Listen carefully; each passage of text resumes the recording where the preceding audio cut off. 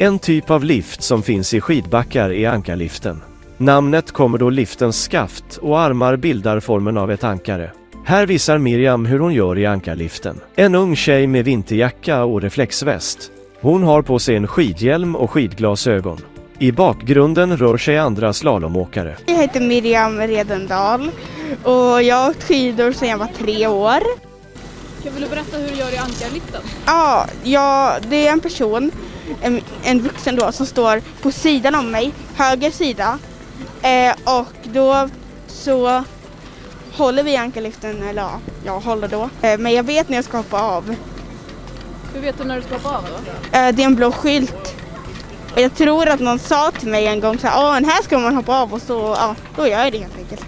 Är, är det svårt med ankarliften?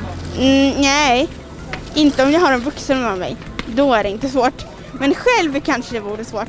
Jag säger ju bara 8 procent. Så här går det till. Två skidåkare ställer sig bredvid varandra med skidorna riktade upp mot backen.